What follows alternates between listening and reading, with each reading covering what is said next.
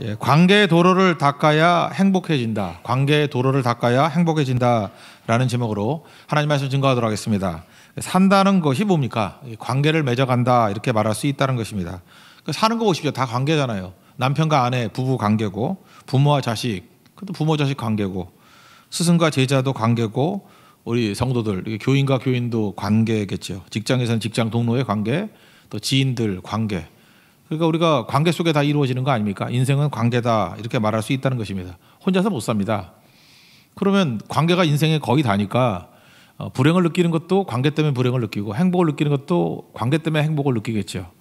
어, 특별히 고통스러워하는 사람들을 보면은 그 자꾸 자꾸 가보면 다 관계 때문에 고통스러워하는 것입니다. 관계가 악화되었기 때문에 그렇다.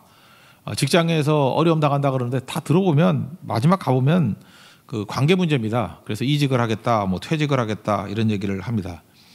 그 요즘에 그 아이들도 이렇게 장애를 입은 아이들이 많은데 이렇게 몸의 성장에 좀 비해 비해서 느리게 말을 배우는 애들이 있어요. 말을 어떤 애들은 뭐 다섯 살 때까지 말을 잘 못하고 하는 애들도 있는데 이거 내가 그 의사 선생님한테 물어봤더니 그러더라고요. 그것도 일종의 관계 장애라고. 어, 아버지나 어머니가 너무 기대가 크거나 너무 빨리 가버리니까 애 그 속도를 못 쫓아간대요. 그래서 애들이 답답해가지고 말을 못 배운다는 거예요. 관계 장애 때문에. 어, 그것도 일리가 있더라고요. 그리고 그렇게 말을 늦게 배우는 애, 저도 사실 말을 좀 늦게 했대요. 뭐세 살인가 네 살인가 했다 그러던데 그 전에 나 벙어리인 줄 알았대요. 말 못하는. 예. 예. 근데 제 기억이 나요. 제가 한 두 살쯤에 세상 돌아가는 판세를 읽었던 것 같아. 예. 말을 못하는데. 어, 근데 말을 못하는데 생각이 너무 많아가지고 어, 표현이 안 되는 거예요. 그래서 제가 뭘 많이 했냐 소리를 많이 질렀대요. 그럴 수밖에 없죠. 어, 말은 하고 싶은데 표현은 안 되고 생각은 많고 그래서 애들 막 소리 지르는 애 있잖아요. 뭐 예배 시간에 소리 지르고 가는 애. 그러니까 큰 인물 될 가능성이 커요. 그 왜 그러냐면 머리가 너무 빨리빨리 돌기 때문에 그죠? 어, 다 그런 건 아니겠지만 우리 성도들 가운데도 너무 답답해가지고 표현이 안 되는 사람들 있잖아요. 그때 하나님 앞에 기도할 때 짐승 소리 내는 사람들이 있어요. 그럴 때 왜 저렇게 기도하나 그러지 말고 얼마나 하나님 앞에 쏟아부을 게 많으면은 이게 막 쏟아부을 거 열 가지인데 입으로 표현할 수 있는 건 한, 마디 말밖에 안 되면 소리 지를 수밖에 없다고요. 그죠? 그리고 얼마나 그 고통이 있는지 그걸 신음 소리로 들어야지 그거를 왜 저런 식으로 기도하냐 그렇게 들는 거는 아니라고 생각을 합니다.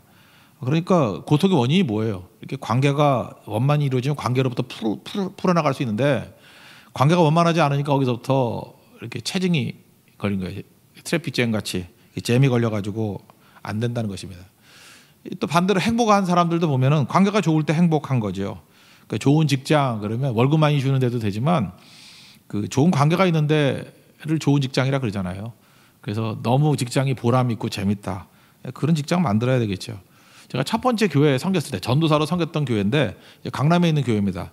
교회도 꽤 좋은 것 같은데 그 교회 사무원이 한번 나가가지고 시집가 시집 가 가지고 빈 자리가 있어가지고 새로 뽑았거든요. 근데 사무원이 새로 오면 그때 그때는 사무원들이 되게 20대 초반이었어요. 뭐 20대 20살 한 23살 사이.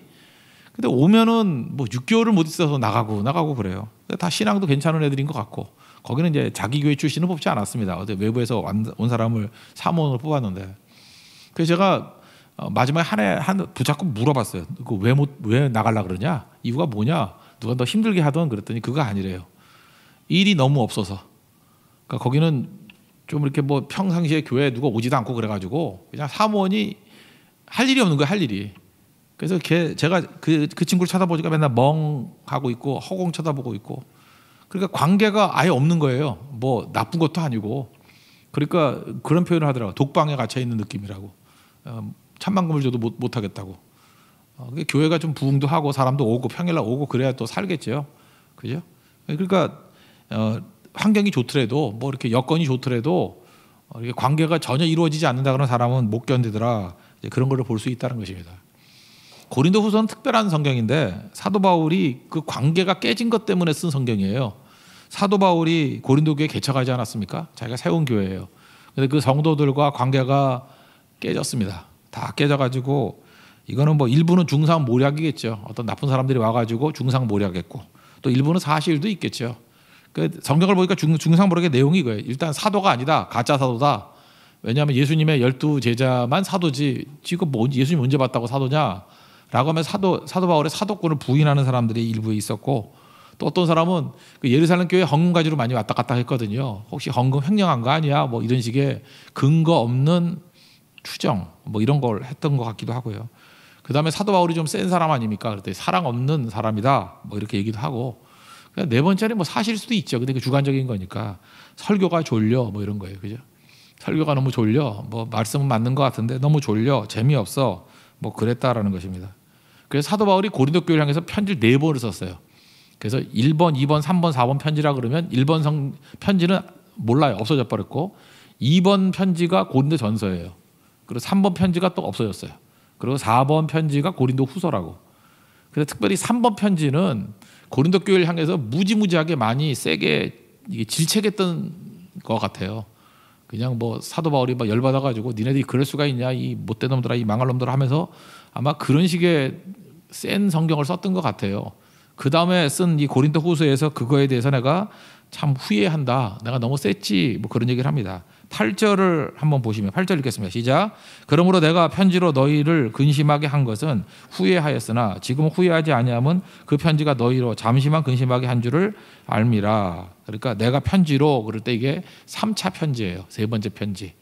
고린도 전서 후서 사이의 편지. 예, 거기서 좀 세게 해서 너희를 근심한 것 같지만 그래도 하나님께서 이걸 잘 사용하셔 가지고 너희로 하여금 그죠 이렇게 잠시만 근심하게 된 거다. 또 회복돼서 감사하다. 뭐 이런 얘기를 하고 있다라는 것입니다.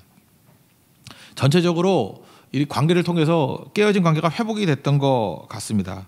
그죠? 그래서 관계 회복 이게 되게 중요한 거죠. 성도는 넘어지지 않는 존재가 아니라 영성은 뭡니까? 넘어졌다고도 일어서는 거죠.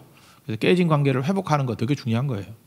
우리가 뭐 살다 보면 죄인이기 때문에 관계가 깨지잖아요. 그러면 어떻게 하면 이 관계를 잘 회복할 수 있을 것인가 이게 중요한 거죠.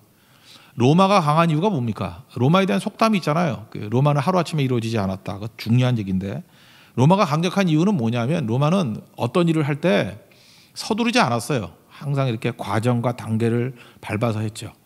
예를 들어서 어느 나라를 정복하러 간다. 그럴 때 로마가 제일 먼저 했던 일은 거의 10년에서 15년 걸렸어요. 도로를 닦았습니다. 그러니까 모든 길은 로마로 향한다 그러잖아요. 그죠? 도로 닦는 데 10년, 15년.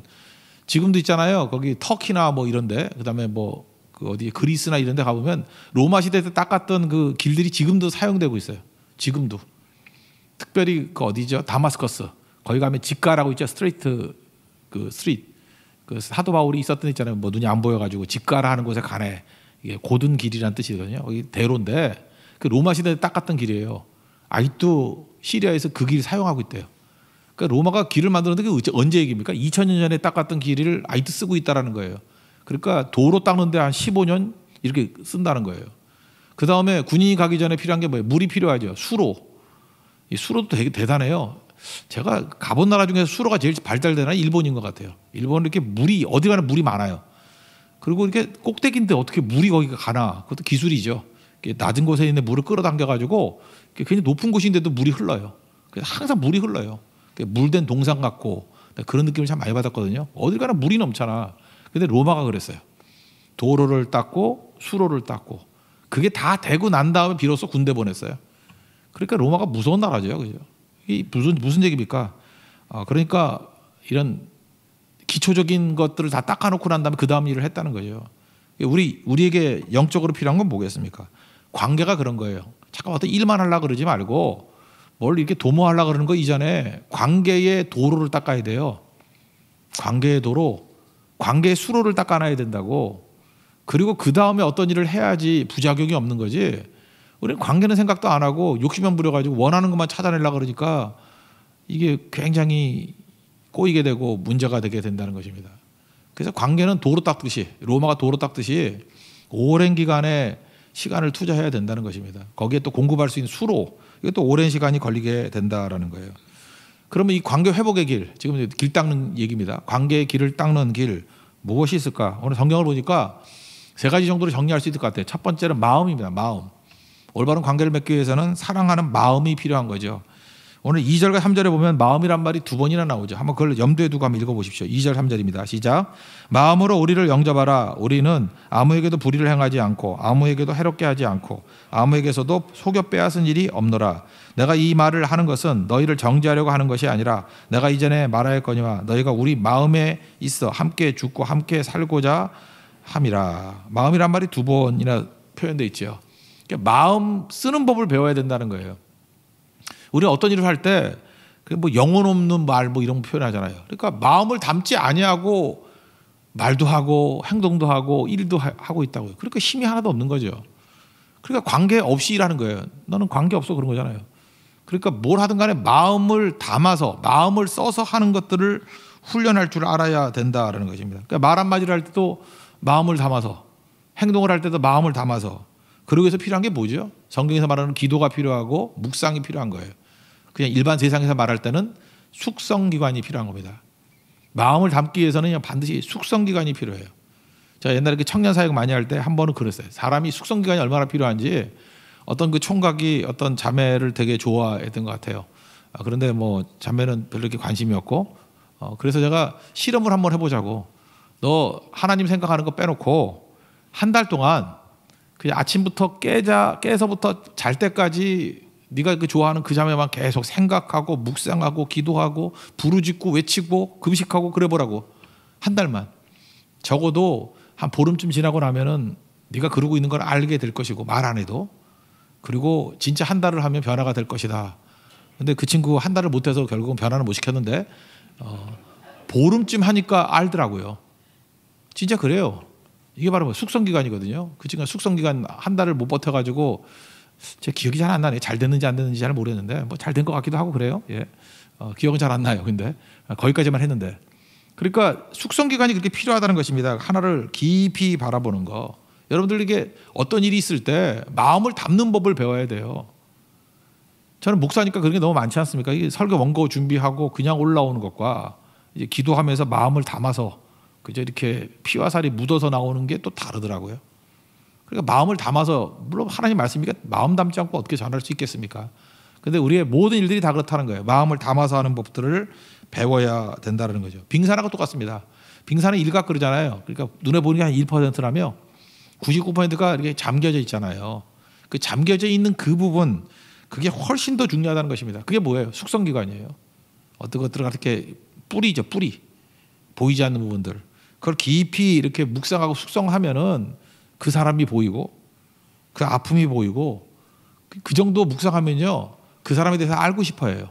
요즘 뭐 정보 알기 편하잖아요. 알고 싶으니까 점점 더 깊이 알아갈 수 있다라는 것입니다. 되게 중요한 거죠. 그래서 숙성 기간 없으면 아무것도 안 된다라는 거예요. 그러니까 빨리빨리 하려 그러지 마십시오. 그래서 마음을 담기 담지 못하는 이유가 뭐냐면 요즘 숙성 기간이 없기 때문에 그래요. 옛날에는 그 연애 편지 쓸 때도 숙성 기간이 있었죠. 뭐 그런 거 들어봤습니까? 뭐 썼다가 또 지우고 썼다가 지우고 뭐 옛날에 그런 노래도 있어요. 뭐 사랑을 쓰려면 연필로 쓰세요. 뭐 이런 것 그죠? 종이값이 아까워서 그랬나? 예, 아니면 또 지우겠다. 뭐 그런 하여튼 뭐 두 가지 양의적인 의미가 있는 것 같은데. 근데 지금은 어때요? 숙성 기간이 없잖아요. 이메일이니까 그냥 쓰고 그냥 보내버리고 쓰고 보내버리니까 이건 뭐 휘발성이 너무 강한 거죠. 뭐 누가 보관해서 읽지도 않고 그것이 뭐 또 실수다 그러면 끝나는 거고 심지어 잘못 보내가지고 뭐 연애 편지 저한테 보는 사람도 있어요. 잘못 보내 복사해가지고 그래서 그래서 내가 썼죠 반사 그래서 보내버렸어요. 반사 그래 그 잘못 보낸 거죠. 그러니까 별의별 일이 다 벌어지는 거죠. 근데 옛날 옛날에는 숙성 기간이 아무래도 미디어가 발달하지 못하니까 할 수 없이 생긴 거죠. 할 수 없이 그게 또 유익이 있더라는 것입니다. 어, 우리가 인간의 뇌 구조에 대해서도 이건 뭐 일반 그 컴퓨터에서도 많이 쓰는 용어기도 한데 스키마라는 게 있어요. 스키마. 인간이 이렇게 정보를 많이 얻잖아요. 얻으면 이렇게 뒤죽박죽이 돼 있죠. 그러면 파일 같은 데 다 안 들어가잖아요. 머릿속도 그래요. 다 안 들어가는데 인간의 머리는 묘해요. 스키마라 그래서 이렇게 막 자료들이 막 들어오잖아요. 그리고 그냥 푹 자죠. 아무것도 안 하고. 아침에 깨놓으면은 저절로 이게 정리가 된대요. 스키마. S C H E M A. 스키마. 그런 작용이 있대요. 여러분 그런 거 많이 경험 안 해봤습니까? 뭐 이렇게 저녁까지 복잡했어요. 너무 머리 아팠어요. 그럴 때 계속 뭘 집중하면 정리 안 돼요. 그때는 그냥 자는 게 좋아요. 자고 새벽 기도 하면 한 7시쯤 되놓으면요. 전날 뒤죽박죽 됐던 것들이 그 저절로 인간이 가지고 있는 능력이에요. 스키마라 그래서 이 정리가 돼요. 숙성 기간이라고. 그래서 공부 못하는 애의 특징이 뭐냐면 앉아서 추가로 공부만 하는 애예요. 그건 공부 못하는 거예요. 그거 들어가지 못해요. 이 스키마 작용이 없기 때문에 정리가 안 돼요. 그래서 벼락치기 공부가 왜 안 되느냐 하면은 이게 다 들어가질 않아요. 그래서 주기적으로 공부하고 쉬고 놀고 뭐 예배 드리고 이래야 정리가 돼서 잘 있게 된다고 이 스키마라는 작용이 있기 때문에 그래서 반드시 터울이 있어야 돼요. 뭘 공부하고 난 다음에 터울, 생각하고 난 다음에 터울. 숙성 기간이죠. 그 생각하고 생각하고. 예, 그래야 이게 정리가 된다고요. 하나님께서 우리에게 정리할 수 있는 능력을 주셨다고요. 스케마라고. 어, 그게 되게 중요한 거죠. 그래서 너무 급하게 가면 안 됩니다. 그 인디언들이 그런 얘기를 한다 그러죠. 이렇게 그 서부 개척할 때 인디언하고 같이 갔던 좀 친하게 지냈던 인디언들도 있더래요. 그래서 같이 여행을 가는데 어좀 뭐 백인들은 좀 빨리 가려 그럴 거 아니에요. 급하니까 욕심 때문에. 근데 꼭 보면은 멈춘대요. 그래서 하도 궁금해가지고 이제 말도 안 통하니까 말 통하는 영어 되는 사람하고 얘기를 했더니 어, 마음이 쫓아오지 못해서 몸이 너무 빨리 가니까 마음이 쫓아오지 못한대요. 거기 표현은 영혼이던데, 그죠? 영혼이 쫓아오지 못해서. 그러니까 여러분도 그럴 때 못 느끼십니까? 너무 급하게 가가지고 마음을 저 두고 온 거예요. 마음을 두고 그냥 몸만 움직이고 있는 거예요. 그럼 너무 빠른 거거든요. 멈춰야 됩니다. 숙성 기간이 필요해요. 그래서 그 자리에 머물러 있으면 마음이 비로소 따라온다는 게 느껴져요. 마음이 도착하면 마음과 함께 몸이 움직여야 된다는 거예요. 그러지 않으면 관계 다 깨져 버립니다. 지금도 급하게 급하게 뭐 일 때문에 일 때문에 이러고 뛰다가 다 놓쳐버린 것이 얼마나 많이 있습니까? 잠언 27장 23절 보니까 양떼 형편을 부지런히 살피고 소떼의 마음을 두라 그런 말씀이 있거든요. 그러니까 목양하는 사람들도 마찬가지입니다. 양떼나 소떼에 대해서 이렇게 부지런히 살필 줄 알고 마음을 두면은 머무르게 돼 있어요. 머무르면 하나님의 성령께서 묘한 게 있어요. 어떤 사람 이렇게 궁금해요. 이게 잘 만나지 못하더라도. 그래서 이상하게 기도가 많이 나오고 이상해요. 그래서 전화 걸어보면 반드시 문제가 생기거나 그 전화를 해야 될 필요성이 있었을 때라고요. 그게 왜 맞죠? 그게 뭐 특별한 능력이기 때문에 맞는 게 아니라 숙성 기간이 있으면 하나님께서 그런 길로 이끌어 주신다는 것입니다. 그래서 여러분들 너무 급하게 살기 때문에 욕심으로 살기 때문에 관계가 다 깨진 거예요.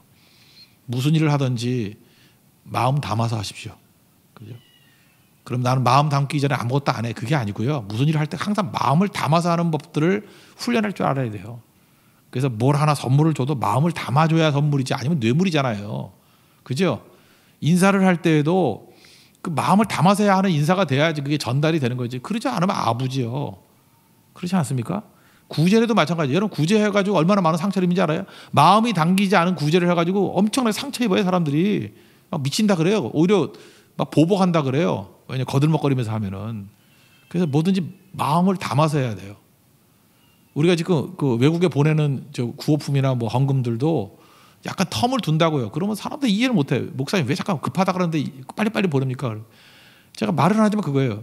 그걸 놓고 우리 성도들이 기도하고 그걸 같이 마음을 집중해서 마음이 담아서 가야 될 거 아니에요. 마음이 담아서. 다르다니까요. 그러지 않으면은 괜히 교만한 교회 돼 가지고 돈이나 뿌리고 다니고 그러는 건지 알아요. 그거 아니라고요. 겸손함이 있어야 되고 마음을 담아야 되고 그리고 난 다음에 그 관계의 도로가 뚫리고 난 다음에 그 다음에 지원을 해야 문제가 없게 된다는 것입니다. 마음 담지 않고 하는 모든 것들은 다 무너지게 된다. 이거 잊지 마십시오. 마음은 담지 않으면요 다쳐요. 그래서 마음에 마음에 사랑이 없이 이렇게 훈계하면요 다쳐요. 다친다니까. 그러니까 훈계는 아무나 하는 게 아니에요. 이 관계의 도로가 뚫렸을 때 훈계하는 거예요. 얼마나 많이 기도해야 되는지 아십니까? 얼마나 많이 그를 사랑해야 되는지 알아요? 그래야 아이디어가 나오고. 우리 보통 뭐 운동 선수들 그런 얘기 하잖아요. 뭐 체중을 실어서 때린다고. 뭐 권투 같으면 체중을 실어서 때린다. 그 다음에 뭐 어떤 야구 선수 홈런 치는 선수를 보면 저 저저 선수는 어, 배팅을 할 때 체중을 실어서 한다고. 그죠? 그러니까 홈런이 나오는 거라고. 그러니까 체중을 실듯이 우리는 무슨 일을 하들 때 영적으로 마음을 실어야 돼. 마음을. 그래야 관계가 회복이 될 수 있다는 것입니다. 하나님께서 여러분들 마음을 실을 수 있는 그런 지혜와 은총이 넘쳐나는 축복된 하나님의 종들 되기를 바랍니다. 예, 또한 가지는요. 두 번째는 관계 회복 얘기예요. 마음을 실어야 되고 두 번째는 자기 자신의 연약함을 드러낼 줄 알아야 된다는 것입니다. 사도 바울이 이거 참 잘했어요.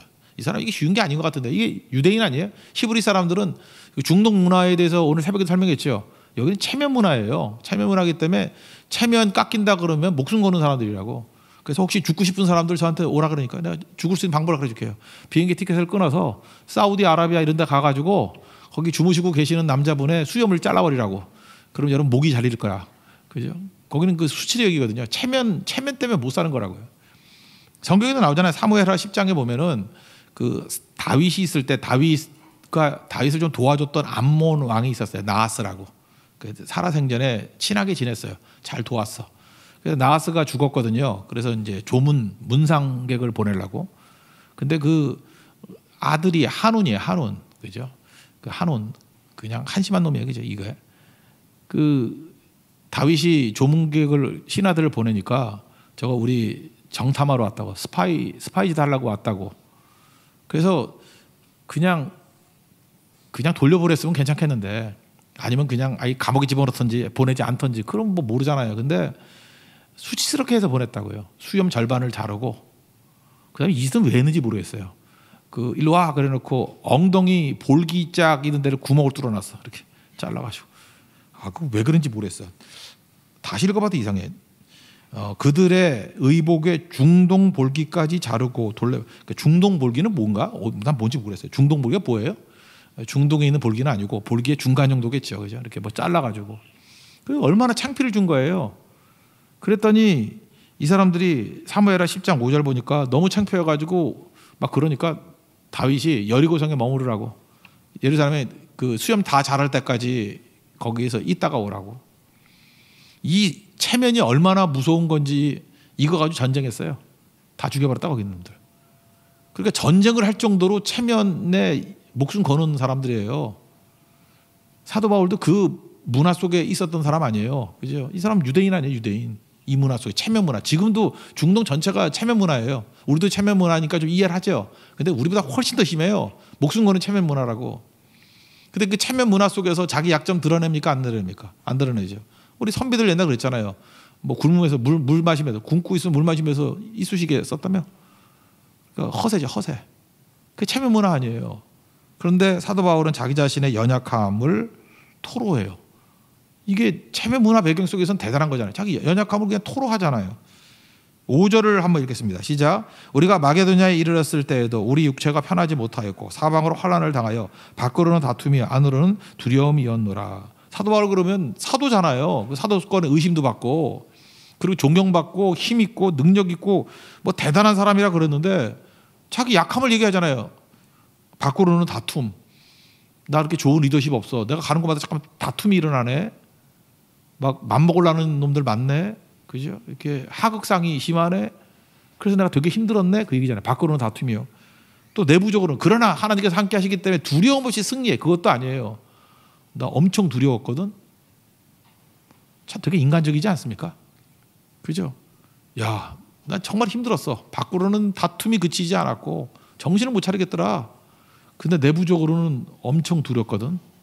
그죠? 그랬다고. 그러면서 토로하잖아요. 이게 관계 회복할 수 있는 길이에요. 아닌 척하면서 가면 쓰는 게 아니고 우리 인간이잖아요. 다 약하니까 약한 것들에 토로하면서 도와달라고 하는 게 뭐 나쁜 거겠어요. 그리고 조금, 조금 전에 읽었죠. 그 다음에 세 번째 편지에서 내가 너에게 심하게 얘기했던 게 후회스럽다. 후회한다라는 건 뭐예요? 미안하다는 사과죠. 내가 잘못했다. 이것도 쉬운 게 아니죠. 8절과 앞부분만 다시 한번 읽어볼까요? 시작. 그러므로 내가 편지를 편지로 너희를 근심하게 한 것을 후회하였으나 그랬죠. 그러니까 후회했다. 그 다음에 또 이건 참 귀여운 것 같아요. 내가 너무너무 외롭고 힘들었는데 디도가 나한테 와가지고 너무 기뻤다, 힘이 됐다, 또 그런 얘기를 하네요. 그죠? 6절, 7절 한번 읽겠습니다. 시작. 그러나 낙심한 자들을 위로하시는 하나님이 디도가 오므로 우리를 위로하셨으니 그가 온 것뿐 아니요 오직 그가 너희에게서 받은 그 위로로 위로하고 너희의 사모함과 애통함과 나를 위하여 열심히 있는 것을 우리에게 보고함으로 나를 더욱 기쁘게 하였었느니라. 무슨 얘기예요? 디도가 와서도 기쁜데 디도가 와서 뭐라 그러냐면은 너희 고린도 교회 너희들이 사실은 오해였고 우리가 뭐 사도 바울을 우리 은, 은인으로 여기지 뭐 그러겠습니까? 하면서 이렇게 좋은 얘기 해줬다는 걸 보고 내가 너무 기뻤어 그런 얘기예요. 자존심도 없죠, 그죠? 그죠? 니네들이 돌아선 거에 대해서 화가 났는데 다시금 그걸 잘못했다 그러니까 나도 너무너무 기뻐 하면서 그냥 있는 그대로 기쁨을 토로하잖아요. 이게 참 아름다운 거죠. 인생에서 중요한 게 이런 솔직함이에요. 이런 투명 투명함. 그 얼마 전에 그 축구 잘하는 친구 있잖아요. 호날두 우리나라에 왔다가 축구를 안 하고 욕만 먹고 간 친구 하나 있죠. 예. 호날두 천재입니다. 축구 되게 잘해요. 호날두 축구 못하는 사람이 누가 있어요? 근데 그 호날두에 대해서 그 우리 한국 사람이 쓴 것 같아요. 그죠? 그 게시판에다가 호날두 욕은 욕인데 참 멋있게 욕을 한 것 같아. 호날두에게는 낭만이 없어. 진짜 낭만이 없죠. 우리 크리스찬들이요 아름다운 인생을 살기 위해서는 반드시 낭만이 있어야 된다고. 호날두는 참 이거 안타까워요. 이제 포르투갈에서 가난하게 자랐대잖아요. 형제도 많고 굉장히 가난하게 자랐는데 이 가난하게 자라서도 낭만 있는 사람 아이유 같은 애는 낭만 있는데 아이유는 우리 막내딸보다 하나 위더라고 93년생 나이도 어리죠 그 뭐 지금 아마 데뷔한 지 13년인가 이렇게 됐는데도 불구하고 26밖에 안 되잖아 지금. 그죠? 한국 나이로도. 뭐 만으로 막 깎아치면 24살이잖아 만으로 막 하면. 그 데뷔를 12살에 했나? 11살에 했나? 그러니까 뭐 그랬죠. 고등학교 졸업 못 했을까? 대학 대학을 졸업 못 했나? 뭐 고등 대학은 가보지도 않고. 뭐 그래, 그랬을 거라고요, 그죠? 그 전북 김제에서 어렵게 어렵게 살았잖아요. 근데 얼마 전에 제가 기사 보니까 뭐 아이유 그 얘기들 많이 나오대. 이제 돈 그만 벌자고. 어, 돈 많이 벌었으니까 이제 쓰자고. 아이유를 보면서 느낀 게 뭐냐면 악착 같음 이렇게 뭐 호날두 같은 냄새가 안 나요. 낭만이 있어. 어, 그거 못 느끼세요? 되게 낭만적이야 아이유 낭만적 호날두는 낭만이 없어 그러니까 축구만 잘할 뿐이야 무슨 로버트 같아요 약간 예를 들어 유벤투스 지금 있잖아요 유벤투스. 유벤투스 델피에르라고 있어요. 이 친구는요 그 유벤투스가 굉장히 어려울 때가 있었어요. 막 인기 떨어지고 회사 회사 망하기 직전. 그 델피에로가 연봉 막 4분의 1 받아가면서 막 버티고 버티고 했, 던 그런 친구예요. 그래서 지금도 이렇게 얘기를 해요. 어, 유벤투스의 유일한 legend는 어, 델피에로라고. 낭만이냐 낭만. 그러니까 유벤투스 그러면 사실은 호나우도 생각나지도 않아요. 호날두 생각난다고 델피에로에 델피에로 그죠? 델피에로. 그러니까 이 친구는 뭐 어딜 가나 그래요. 맨체스터 유나이티드 유나이티드에 있었잖아요. 박, 박지성 있는데 거기 같이 뛰었잖아요. 근데 맨유에서 호날두 맨유의 심벌인가요? 아닌 것 같은데 그 다음에 레알 마드리드 갔잖아요. 뭐 얼마나 뭐 전성기였습니까? 뭐 연전 연승. 그렇죠. 레알 마드리드가 호날두를 지금도 기억하네. 레알 마드리드하고 호날두하고 연결이 뭐 되나? 그냥 축구 잘하는 천재 그 정도지. 우리나라 와서도 아니 그러고 가는 거 아니죠. 그냥 나와가지고 5분이라도 뛰어야지, 그죠? 그 아니면 뭐 인사라도 좀 하고 가고 그래야지.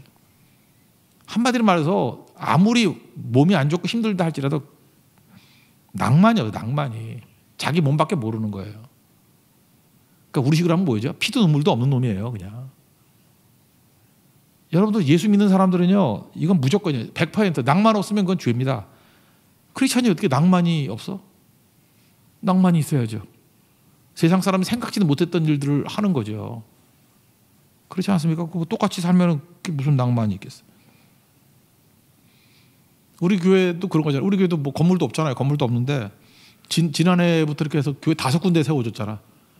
이번 7월 달에 노일교회라고 우리 거기 또 다 완공이 된다고 연락이 왔대. 예. 근데 거기 그 계신 분이 쓴 길에 똑같이 해서 나가 약속한 것도 아닌데 어, 새 교회는 상당히 낭만적인 교회예요. 그러더라고. 어, 기분 좋았어요. 예.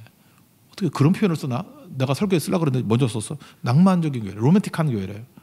그게 로맨 로맨스죠.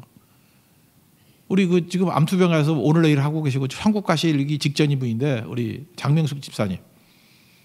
그암암 암, 암으로 굉장히 힘들었잖아요. 근데 병원에서 의사한테 얘기하고 나와가지고 제주 선교하고 또 다시 병원 들어가고 또 다시 고성 선교 가서 또 선교하고 낭만적이지 않아요?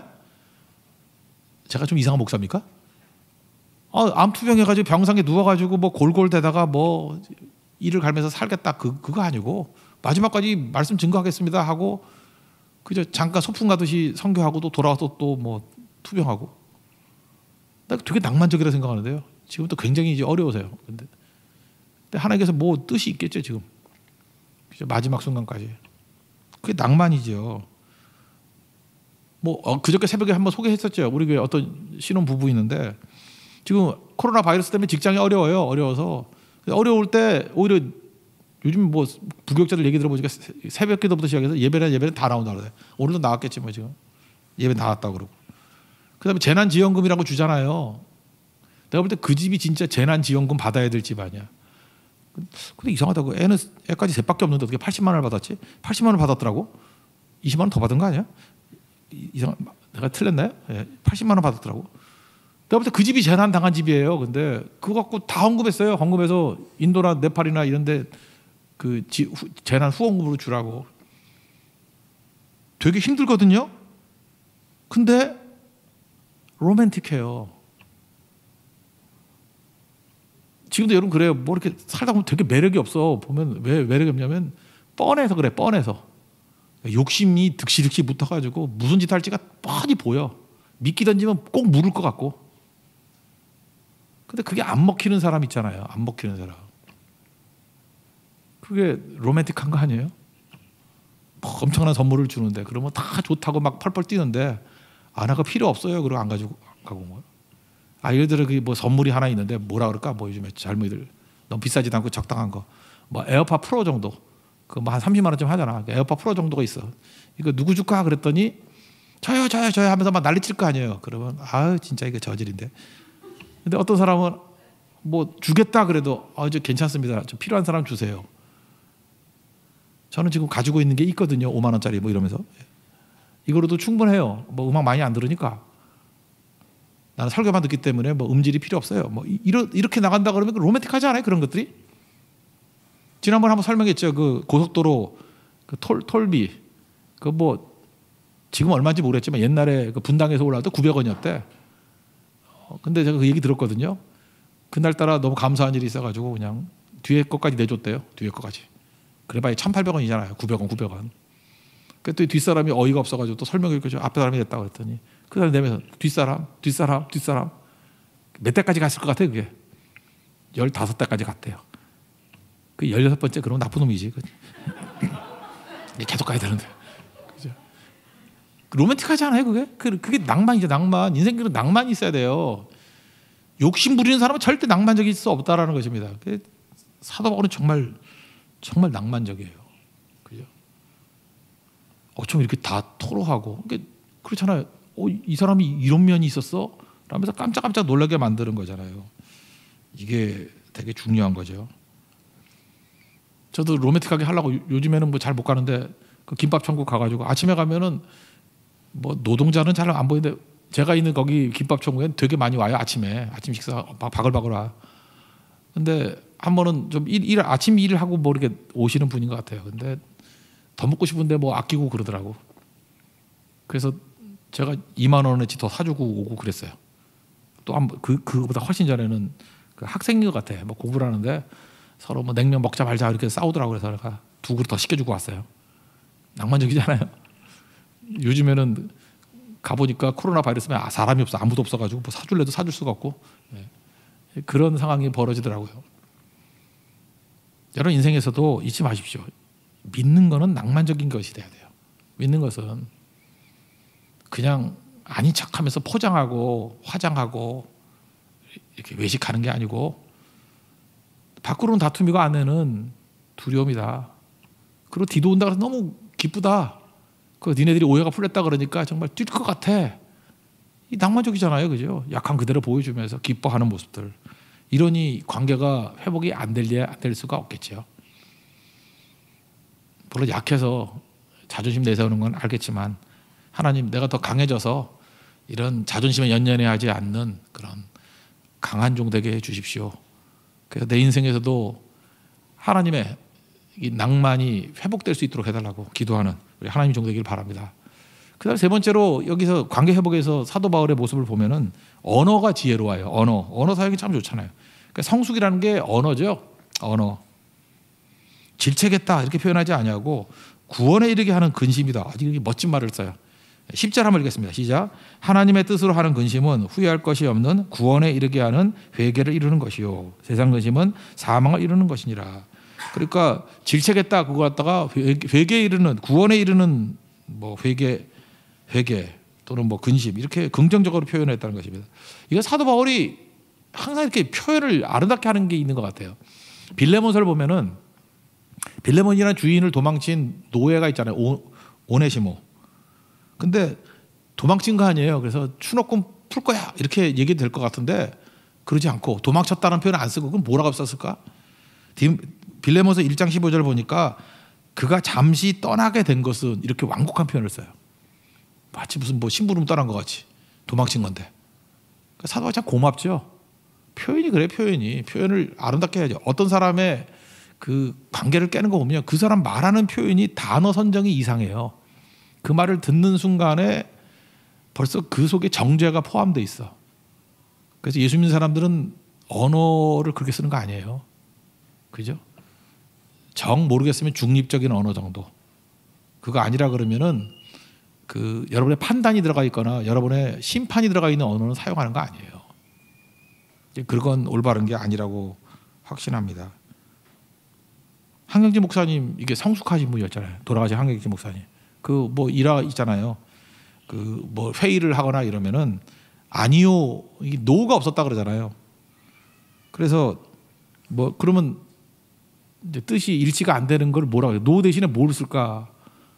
그러면 한경지 목사님은 잘 듣고 난 다음에 일리가 있네요. 그게 노예요.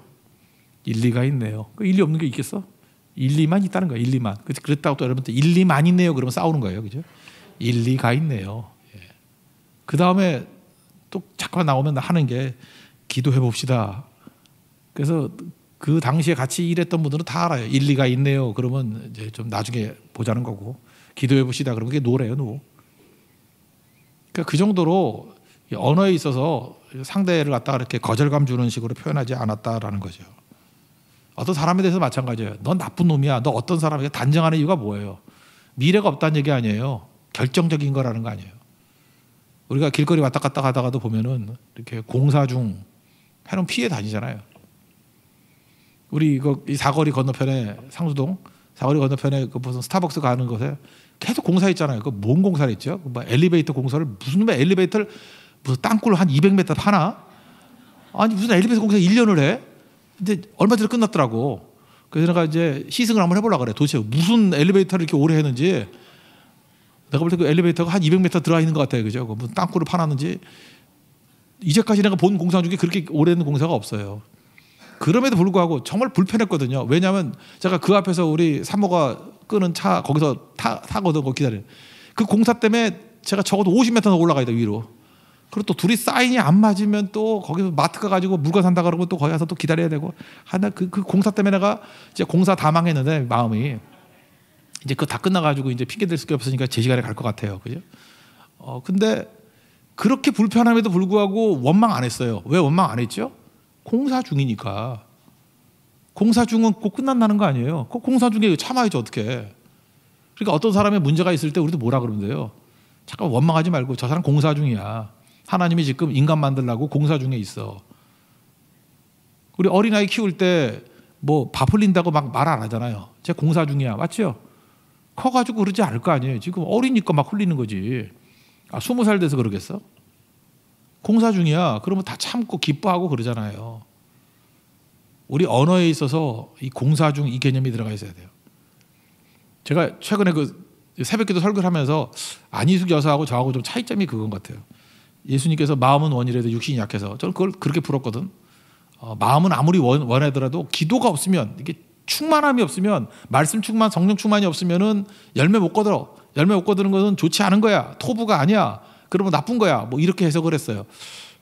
근데 갑자기 또 안희숙 여사의 생각이 나더라고. 안희숙 여사는 마음은 원이라도 육신이 약해서 이걸 뭐라고 해석했다 그랬어요? 그럴 수도 있지. 어, 내가 되게 나쁜 놈 같이 보이고 그, 그분은 되게 좋은 사람 같이 보이더라고. 그죠? 그러니까 마음은 원이로 돼. 그러니까 제자인데 수지자인데 예수님이 겟세마네 동산에서 잠 기도하랬더니 잠을 잔 거야 세 번이나. 그럼 사실 이게 좋은 분위기에서 한 얘기는 아니잖아요, 그죠? 마음은 원이라 육신이 약해서. 그러면 안 된다라는 것 같지요. 근데 아니 여사는 이걸 어떻게 표현했냐면 그럴 수도 있지. 그 얼마나 고맙겠어요. 이 땅에서 모든 관계 속에서 정죄하지 아니하고 뭐 그럴 수도 있지. 그러면 깨질 관계가 어디 있겠습니까? 다 회복이 되겠죠. 그러니까 관계의 도로를 뚫기 위해서 필요한 게 뭐예요? 이런 언어. 그리고 언어도 주로 미래적인 언어 사용이겠죠. 베드로 문제 투성이었는데 요 한번 일장 보세요. 내가 너를 장차 개바라 하리라. 개바가 반석이잖아요. 베드로라 하리라. 그러니까 지금 모습을 보면은 짱돌 같이 보이지만 장차는 반석이야. 장차가 중요한 거예요. 지금은 그렇지만 장차 너는 하나님의 불꽃이 될 거야. 너는 장차 하나님의 기둥이 될 거야. 장차 하나님의 그죠 마음의 합한 자가 될 거야. 너는 장차 예배자가 될 거야. 예, 이 시각이 되게 중요하다는 것입니다. 그래서 길다가 난다는 거예요. 우리도 하나님의 은혜 가운데 관계의 도로를 잘 닦아서 그죠 사람들과의 동역자들을 세우고 참된 그리스도 안에서 하나됨을 이룰 수 있는 믿음의 정되기를 축원합니다. 예, 모두 자리에 일어나겠습니다. 우리 행복 찬양하겠습니다. 행복.